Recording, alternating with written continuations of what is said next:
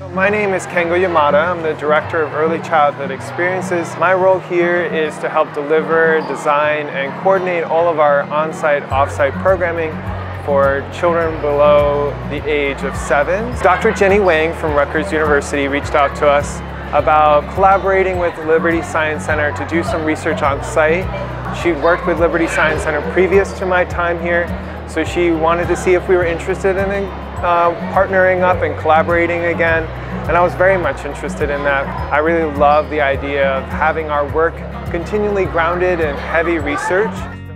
My name is Edith Poyraz. I am a PhD student in Rutgers.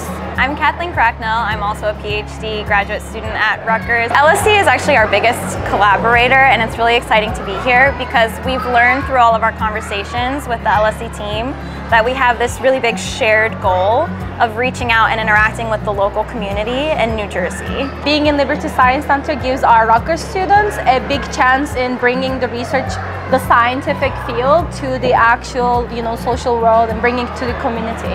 We're really, really big into community engagement and sharing the research findings that we have with the public this collaboration, I think I never want it to end, uh, really, because yeah. it's just such a really good opportunity for me to bring the things that we're learning about child development back to the community and it being able to engage not only the children in the conversation, but the parents in the conversation.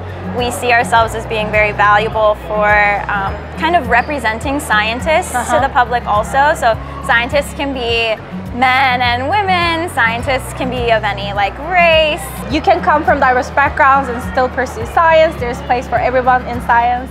And also as female role models, we want to model that to the you know community that uh, the diverse community that visits the Liberty Science Center. So we think that all of this, all of this gives us a big opportunity to really bridge the two worlds. Yeah. When people hear the word research, and especially child research, a lot of people don't really know what to expect or what that looks like. And so just being able to stand here in the Liberty Science Center together and look through our you know half glass wall and say we're doing research right now. You see how this kid's excitedly searching for stickers under a bucket? That's telling us so much rich information about what that child understands. Mm -hmm. And I think it opens up a lot of parents' interest in child development research so it's kind of a huge win-win. It's like we're enriching the families' lives by letting them into our world, uh -huh. but then also maybe they're more excited to join our world and we're better able to do the work that we want to do. In the two-year tenure that they've been here, they've been bringing a lot of different studies uh, to help contribute to generating new knowledge. And it's just been a pleasure having us uh, be able to show our guests that we're continually trying to grow in our work and seeing how we can further our collaboration with Rutgers University. So I'm really looking forward to the long-term growth of our relationship together.